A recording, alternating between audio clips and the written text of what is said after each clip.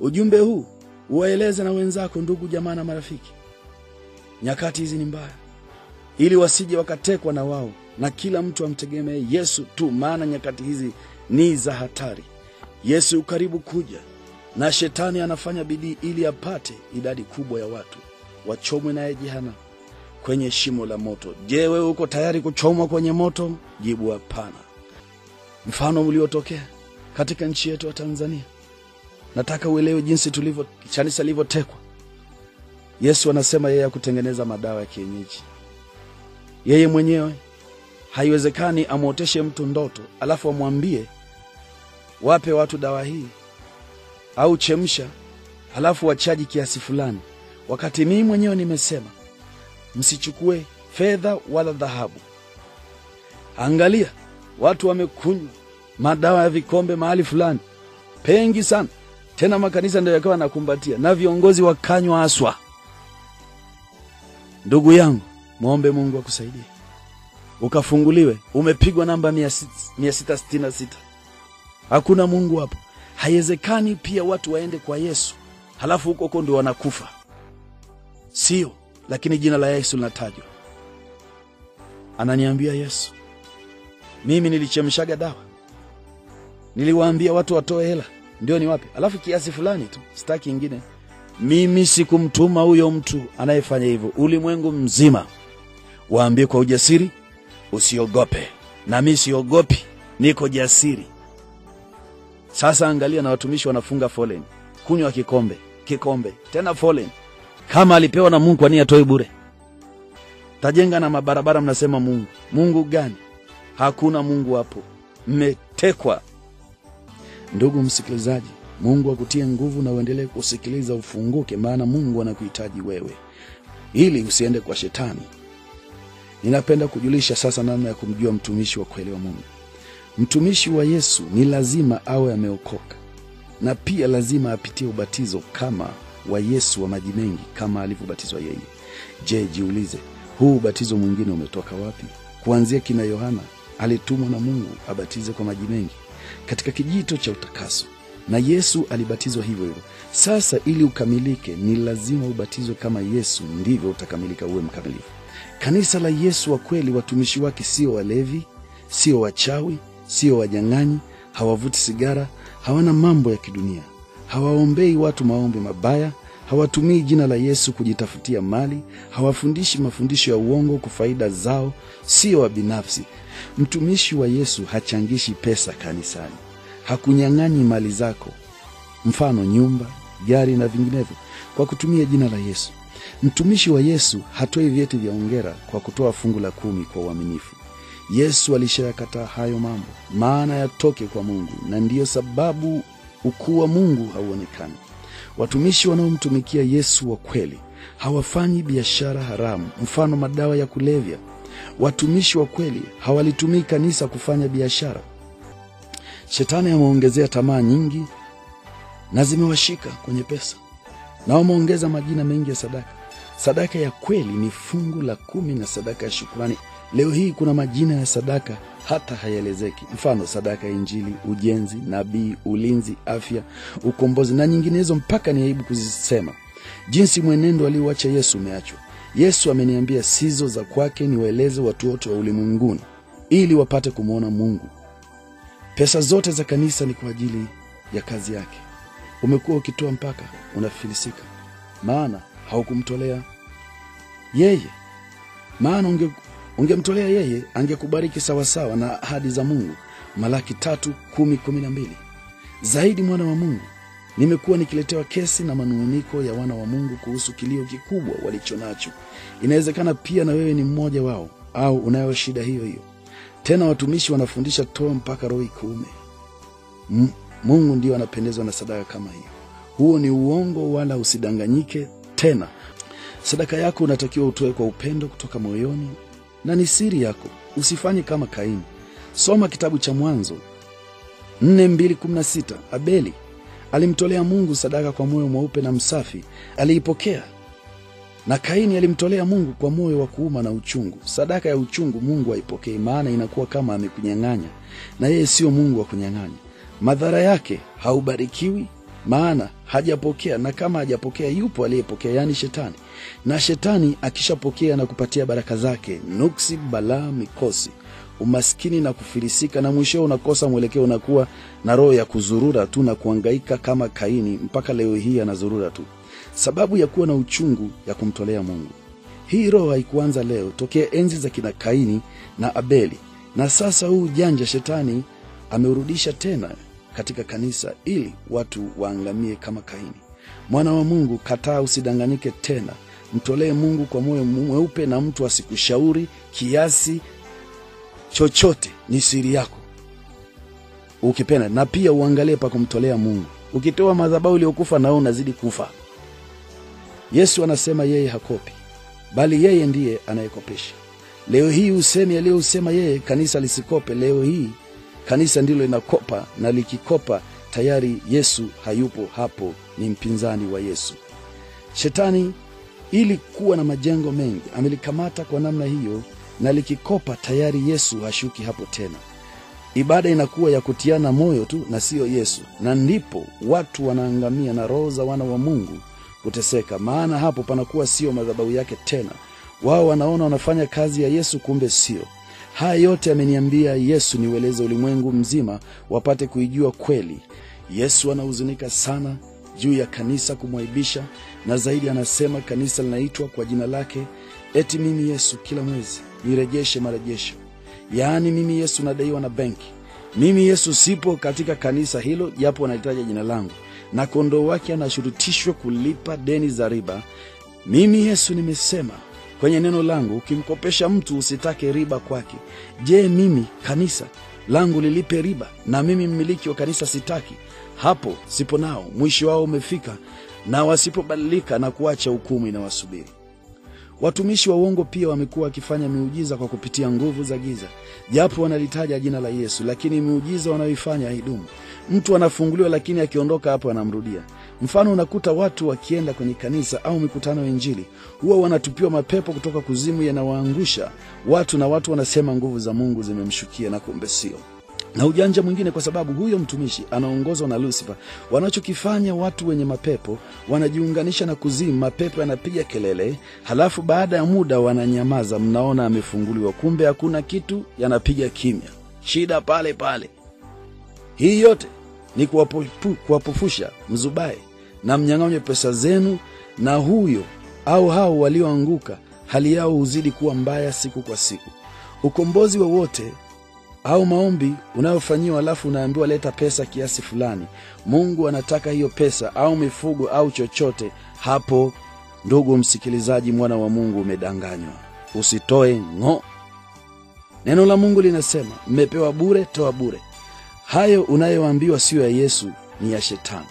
Soma katika kitabu cha matayo kumi mstari wa nane. Watumishi wa uongo hufanya kazi ya Mungu kama mradi wao na kuwafanya waumini ATM mashine. Yesu hakufanya hivyo, au darekta wa kanisa. Haya yametoka wapi? Jibu ni kwa Shetani.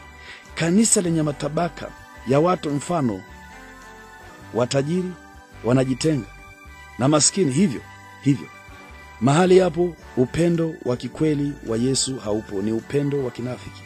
Mfano, kama hauna pesa au ka uwezo kidogo, mtumishi haukupendi au kukuombea au kukujali. Anawajali wenye pesa tu, na wewe usiyekuwa nacho hana muda na wewe. Mahali hapo ujue Yesu ameondoka siku nyingi, maana sisi watu wote ni wa Yesu na safari yetu ya mbinguni ni moja, naye anayetuongoza ni jemadari mkuu. Yesu hana ubaguzi, ana upendo tu. Mtumishi wa namna hiyo tayari shetani amemkamatia kwenye pesa. Tunajua kwa sasa sadaka ni siri yako na Mungu. Sasa kwa nini unaambiwa uandike jina lako tena hata namba ya simu? Kwani Mungu aliye sirini ya kuoni? Haya yametoka wapi mafundisho? Jibu siyo ya Mungu. Watumishi wa uongo hawajachaguliwa na Yesu, wamejichagua au kujiita wenyewe, na wengine wameitwa na shetani kabisa. Maana kwanza hawa watumishi wanaenda kwa waganga wa kienyeji, na wengine wanatoa makafara, wanalala makaburini, wanawanga usiku na mchana. Shetani anawatumia watumishi wa namna hii ili kuliangamiza kanisa na kulifanya kanisa liwe la masharti au sheria. Ukikuta maombi yanafanyika mahali kanisa fulani au kwa mtumishi kwa pesa, siyo ya Yesu. Yesu mbariki mtu bure, bali baraka za shetani lazima uzilipie. Hakupi bure. Mfano, ukienda kwa mganga, lazima atataka kitu kwako na kukuambia muungu wake anataka hivyo vitu, ndiyo akujibu. Maana shetani hatuagi kitu bure isipokuwa Yesu tu, na ndiyo maana Yesu anasema mmepewa bure, mtoe bure. Sasa hivyo unavyofanya kwa pesa ni vya shetani, ni ujanja shetani anaotumia katika kanisa, na wewe unaona ni Yesu. Yesu anakuponya bure, okoa bure na kubariki bure.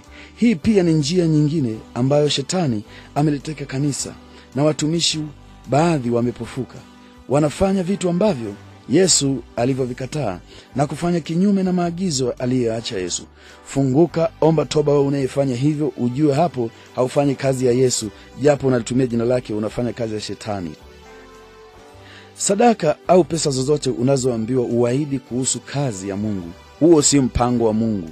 Mungu siyo ombaomba, ni kumwaibisha Mungu, na Mungu amkabi mtu koo. Lazima uahidi utanipa shingapi. Tunarudi pale pale Nataka nikufungue, toa hela. Huyo sio Mungu, ni roho ya kuasi iliyoingia ndani ya huyo anayesema hivyo.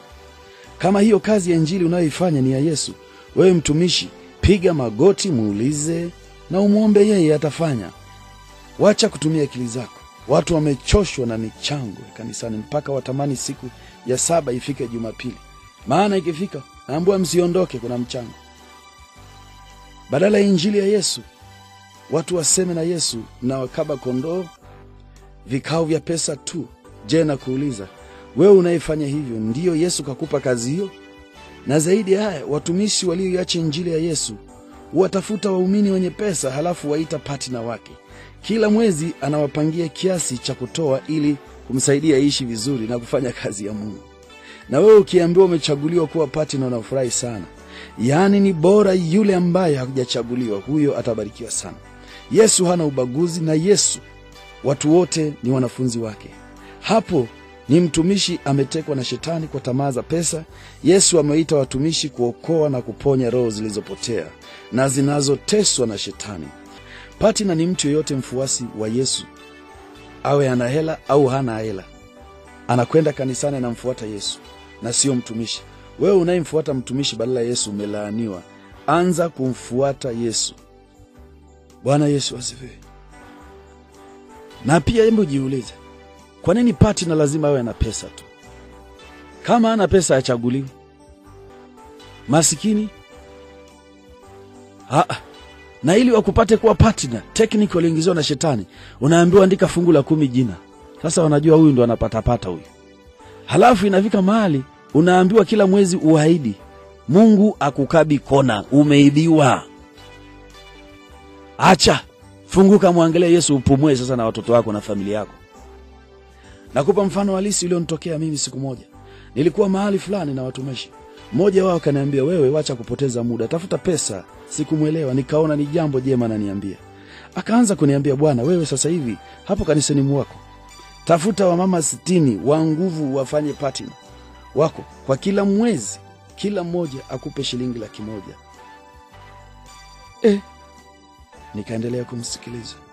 Akaniambia laki moja zidisha mara sitini ni shilingi ngapi? Ni milioni sita. Je, haujauchinja?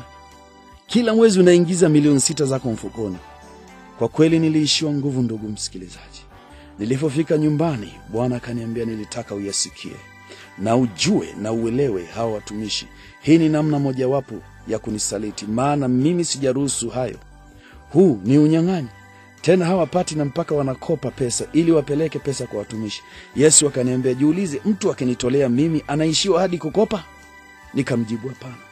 Akaniambia, hizo pesa sio zangu, ni za mambo yao, na sababu watu wanawaamini kupitia jina langu wanalitumia vibaya. Nilishangaa sana na kuogopa na kusii, usifanye hiyo, na kama ni mtumishi waacha utubu, urejee upya kwa Yesu. Huo ni unyang'anyi na ni ujambazi, na umevunja kati ya amri mojawapo, usiibe. Yesu hataki, Yesu hataki, na hasira ya Mungu itakuwa juu yako. Wacha unyang'anyi. Ukisoma katika kitabu cha Ezekiel 34:1 mstari wa kwanza 19 utakuta zaidi anavyoelezea. namna nyingine unakuta eti mtumishi anavaa suti anasimama mbele yenu anajifanya jifanyia mnada na kuwalagai kutoa kiasi fulani cha pesa. Unaandika kwenye suti au gauni alilolivaa. Unaandika kiasi na unapiga saini yako kwenye suti au nguo aliyoivaa. Tena watu wanapanga foleni na kupigania mstari wakijua wanamtafuta yesu mungu tusaidie. Hiyo ni namna shetani anakuchukua uchumi wako na wewe mwenyewe umekubali kwa saini yako mwenyewe. Hapo uchumi wako na baraka zako zinapelekwa kwa lusifa na anawapatia wale wanaoabudu wanaomwabudu yeye freemason. Na wewe ndiyo shida zinazidi. Kama ulishafanya hivyo mwambie mtumishi anayetumika na yesu wa kweli akufungue na utakuwa huru kweli kweli milele na daima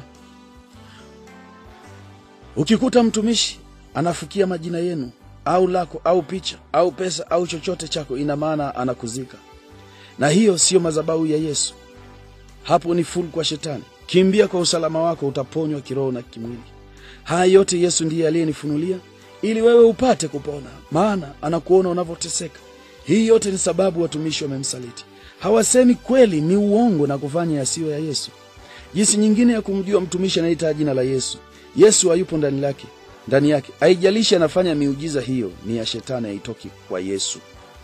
Mtumishi anayekuwa na daftari la mahudhurio ya utoaji sadaka au siku ya ibada anasoma listi ya majina ya watu waliotoa fungu la kumi hadharani. Hapo unauawa kiroho na mungu ajeruhusu bali shetani karuhusu ndugu msikilizaji mungu akubariki akufungue fahamu zako na akili yako ninaomba ukuu wa mungu mpaka nyumbani kwako. Ukafunuliwe sana sifa na utukufu na mrudishie bwana yesu. Haya yote yakaye ndani yako na umsaidie mwingine ili umwangalie yesu peke yake. Usiwe mtu wa kuburuzwa tu mtu wa kusukumwa wakati umefika wa kuwa huru sasa. Na ndipo utukufu wa kanisa la mwisho sasa utaanza kazi. Kuanzia siku ya leo unayoisikiliza haijalishi ukimwona mtumishi hajakaa vizuri sawa sana alikuambia chapa mwendo. Wewe ni wa thamani zaidi. Yesu anakuhitaji. Shetani ameamua kuwapa moyo migumu ili kutokusema ukweli. Akiwa kipofu wote imepofuka 98 amelikamata shetani. Sasa linaenda kunyang'anywa mpaka iongezeke idadi kubwa kwenda mbinguni. Mungu akubariki sana